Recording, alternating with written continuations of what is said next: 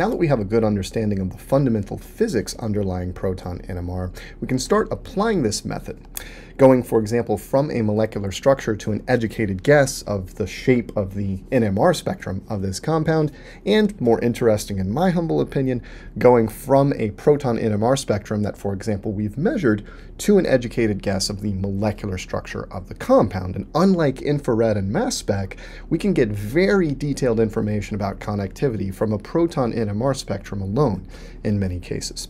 So here we're given the structure of isopropyl acetate and asked to predict the NMR spectrum. And I think the easiest way to go about this is First of all, identify the numbers and types of signals and their integrations, thinking about chemical equivalence of the different types of protons. Then we're going to dig into multiplicity and coupling, thinking about the splitting pattern associated with each signal. So we know the number of signals from stage one. We're going to get the splitting patterns of each signal in stage two. And then in stage three, we're going to think about chemical shifts. And this is really where having a correlation chart in, in hand is going to come in handy. You can look, for example, at the molecular structure, recognize recognize a particular functional group or a particular structural pattern, like, oh, this carbon is alpha to or adjacent to an oxygen atom, and go to your correlation chart and figure out where that should be, where that signal should be for this proton in a chemical shift sense. The, really, the first two steps are the most important here since we're just going to use a correlation chart for the third, so I'll spend very little time on the chemical shifts. Very first thing we need to do is lay down the implied hydrogens, and I've gone ahead and done that here. We've got three methyl groups and the isopropyl methine hydrogen right here. The three hydrogens here are chemically equivalent to each other, and the six hydrogens in the methyl groups of the isopropyl fragment are equivalent to each other. And finally, the methine proton is all by its lonesome right here in the third distinct set of protons, if you like. So we should expect three signals in the NMR spectrum of this compound, one due to this methyl, one due to the two methyls of the isopropyl group, and one due to the methine hydrogen. Okay, what about splitting patterns? Well, let's start with this methyl group. Look at the carbons next door, or the atoms next door, the atoms connected to the carbon. This carbon is connected to this methyl carbon, and there are no hydrogens at this carbonyl carbon. So these three hydrogens have no geminal or vicinal neighbors. Therefore, we will see a singlet for this signal. And it's adjacent to a carbonyl group, which is going to shift it downfield slightly or de-shield the hydrogen slightly relative to a plain vanilla alkyl uh, set of protons or, or alkyl protons. So about 2 ppm is to be expected here. And this, again, you could get from a correlation chart for proton NMR. All right, let's move on to these two CH3s. These two CH3s are both connected to this common carbon, and at that carbon we have one neighboring proton, one vicinal proton. So those the signal for those six hydrogens will be split into a doublet by this one neighboring proton. There, these are more or less plain vanilla alkyl protons, a bit of an inductive effect due to the nearby oxygen. About 1.5 ppm is to be expected there.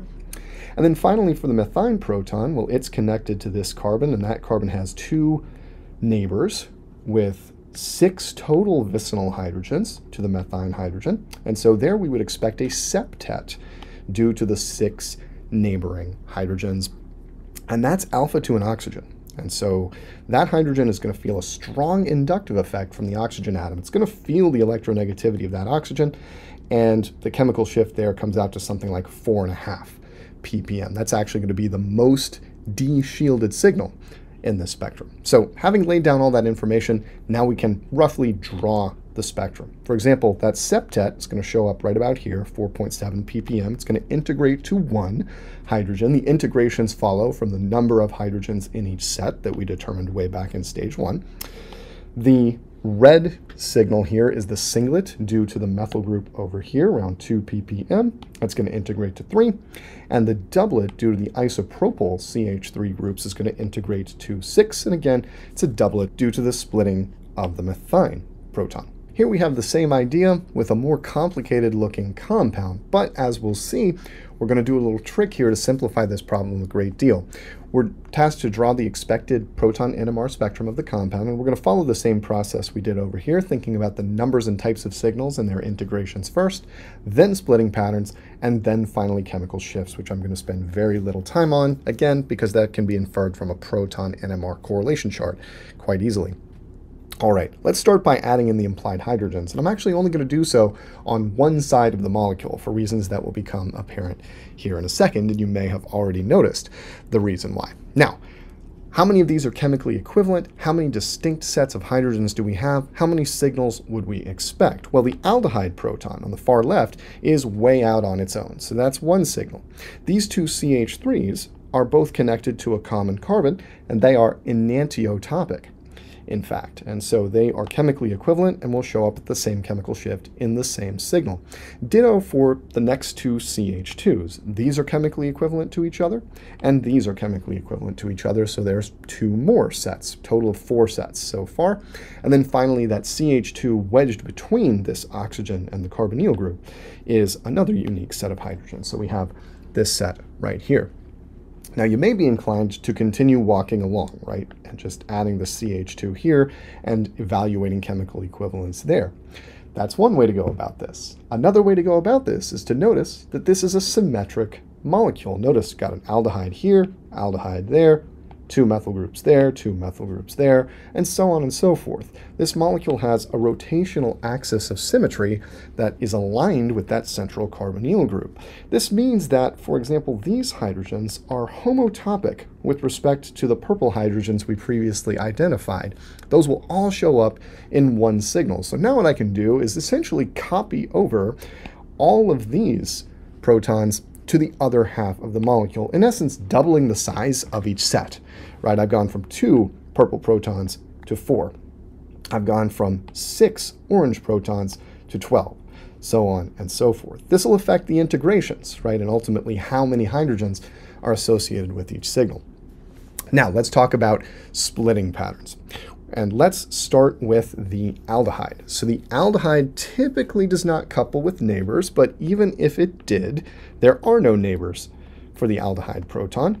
This carbon is quaternary, has no hydrogens attached, so that would be expected to be a singlet. Likewise, with the 12 CH3 protons, the neighboring carbon is quaternary, no coupling there. And that's going to be way upfield due to pretty much the basic alkyl-like nature of those CH3 protons. The green methine, that is adjacent to an one neighboring set of two blue protons here, and so we can apply the n plus one rule actually. We have just one neighboring set of protons. We'd expect that to be a triplet and integrate to four, and likewise with the blue protons, we would expect this also to be a triplet that integrates to four. Four, because we have four protons total in this set. And in terms of chemical shift, this is actually a good opportunity to pause and test your knowledge of chemical shift. Do you think these protons are shielded or deshielded with respect to these? If you said deshielded, you are correct. These will appear downfield of the green protons due to this adjacent oxygen here. Still a triplet though, still a triplet that integrates to four. Finally, have, we have one more peak or signal rather, that integrates to 4, and that's going to be this purple signal. This will be a singlet, however, because those hydrogens have no neighbors, no neighboring hydrogens. I have an oxygen here, carbon here, neither of which is linked to a hydrogen. So we would expect the purple signal to be a singlet that integrates to 4. Again, pretty far downfield, right? Pretty deshielded protons there, feeling the heat not only from this electronegative oxygen, but also from the adjacent carbonyl group. Here we're interested in recognizing ways we can use proton NMR to distinguish between distinct compounds. We're asked to explain how we would use proton NMR spectroscopy to tell the difference between each of these pairs. In A, we have similar functional groups in both molecules. And this is a testament to the power of NMR, that it's able to distinguish easily between these two compounds just based on their difference in connectivity. The difference here is really in these CH2 groups. They're next to each other in this first compound, but they're sort of separated by the carbonyl group in the second one. Furthermore, the second compound has a kind of symmetry reflectional symmetry, for example, or rotational symmetry that the first compound does not have with that carbonyl group kind of out of whack. Right? And this suggests that we can use differences in the multiplicity and number of CH2 signals observed in the proton NMR spectrum to tell the difference. And let's dig in and see how this would actually work. In the first compound, I've got two sets of CH2s that are not chemically equivalent to each other. These blue CH2s have different connectivity, right? They're closer to the benzene ring, for example, than the red CH2 protons.